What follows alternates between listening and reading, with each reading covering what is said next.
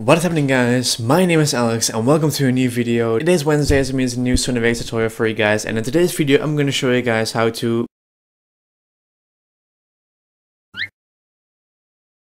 You see what just happened? I'm gonna explain to you guys how to stop crashes, freezes while rendering, editing when you're dragging in footage. Um, so it drives me insane. I don't know what the problem is when I'm editing. I'm just like really into the editing and then boom, the screen turns white and then I'm fucked. Okay, so the thing you want to do to prevent this, um, the first thing is what I experienced myself is you do not want to drag in your footage. So let's say you have like a really busy project and in here you want to drag in another file. Let's say let's say my thumbnail. Just imagine that this is like a really heavy like 1080p 60 fps canon 600d footage uh, like really heavy like 2 gigabytes drag that into your vegas and normally it loads like 2 seconds but sometimes it just crashes. It keeps loading and once you click like this, it turns white, then the icon starts uh, loading, basically your Vegas crashed. So the first thing I'm going to show you guys like to do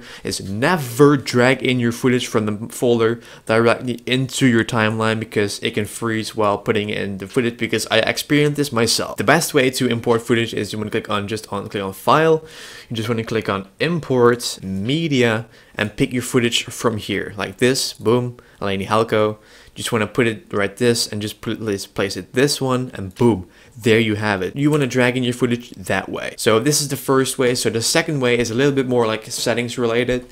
So i'm going to show you guys um, what to do to be able to stop um, those crashes. So the first thing you want to do is you want to just you want to go to options.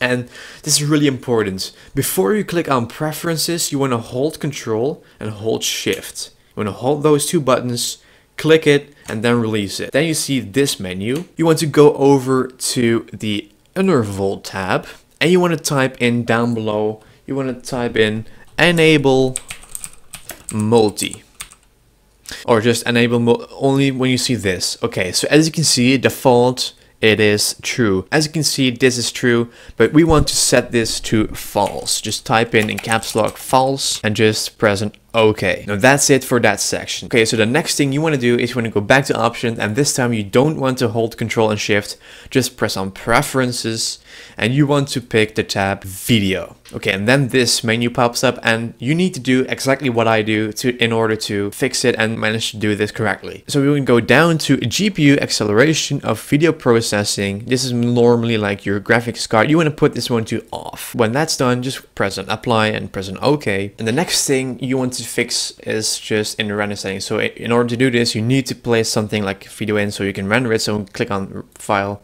render as, and as you can see, this render menu pops up. You want to go to the tab which says Sony, AVC, MVC, blah, blah, blah. And you want to go for internet 1080p 30p this one you want to just click on customize templates and you want to choose render using cpu only I'm gonna press an OK and now you can start rendering. So that's how simple it is guys. Just do those settings and I think it will not completely remove the, the crashes because you never know. Um, but just also don't like run like extreme heavy programs um, like in the background when you're editing with Vegas because it might crash. I don't know. It depends on what kind of things you have open on your on your computer. So make sure all heavy programs are closed and that Sony Vegas can take the full space of your CPU and RAM to render properly. That's it for this video guys. So if you want to see more of the Sony Vegas tutorials every Wednesday at 12 p.m. PST, that's 9 p.m. CET, make sure to subscribe down below and if you find this video helpful. Make sure to smash that like button down below. So I want to thank you guys for watching. I'll see you guys next week. So until then, I'll see you guys very soon. I don't want to tell too much about it yet. About this topic, like how to drive a car easily in general. We're back with a new review. No, so we're back with a new series. Today we're going to review the GeForce 210 video card, so enjoy the rest of the video. So let's read some of the specs. I'm just going to tell you guys what the new schedule looks like and how it goes and all that stuff. So, okay. Thank you guys very much for watching this video. And I'll see you guys in the next video.